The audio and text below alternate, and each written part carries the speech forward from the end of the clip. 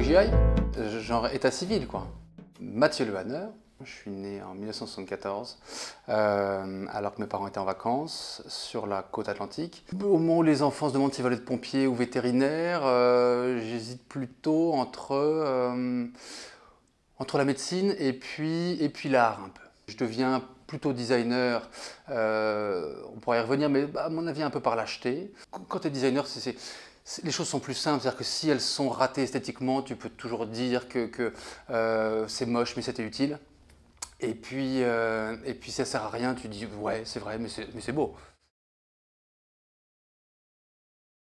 J'avais travaillé sur un projet qui s'appelle Local River et qui avait été commandité par une galerie à New York le principe était de pouvoir cultiver et produire chez soi son alimentation, ou une partie de son alimentation. Et du coup, c'est un système incluant des poissons, euh, donc un aquarium, et puis des plantes, et puis un écosystème qui alimente les deux, qui font que les deux vivent en, parfaite euh, harmonie et, intérêt mutuel, et puis que vous pouvez directement les puiser dedans, euh, plantes aromatiques ou poissons d'eau douce, pour vous faire un repas hyper local. Mais si on regarde la réalité de ce qu'a été ce projet, du moins aujourd'hui, c'est un projet qui a été fabriqué en Suisse, et puis en verre, et puis qui a été envoyé euh, à New York en avion, et qui du coup est tout sauf un projet écologique. L'approche écologique, mais la réalité de terrain ne l'a pas été du tout pour les, contraintes du contexte euh, d'une production à un bout du monde qui est envoyée à l'autre bout du monde.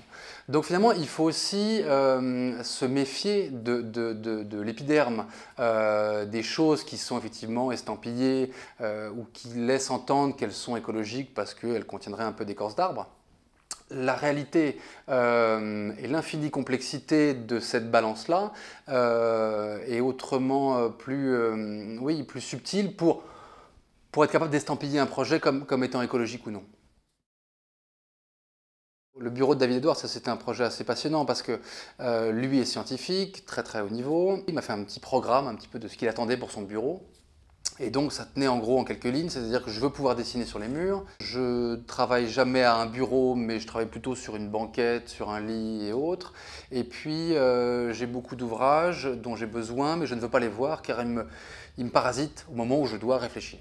Quand on passe devant ce bureau, on n'a aucune grille de lecture possible sur ah oui c'est un bureau, ah oui c'est une boutique, ah oui c'est une maternelle. On est dans une sorte de mix un peu, euh, un peu hybride de tout ça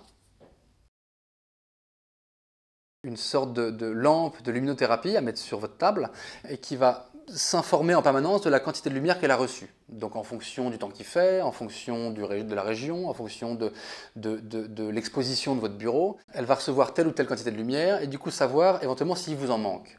Et en fait, dès que vous allez vous approcher de la cavité de l'objet, il va vous restituer exactement la quantité de lumière dont vous avez besoin pour que mon cerveau euh, sécrète les bonnes hormones au bon moment.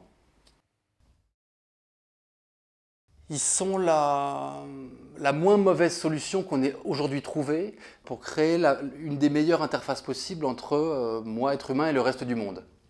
Quand je peux m'en passer, je m'en passe.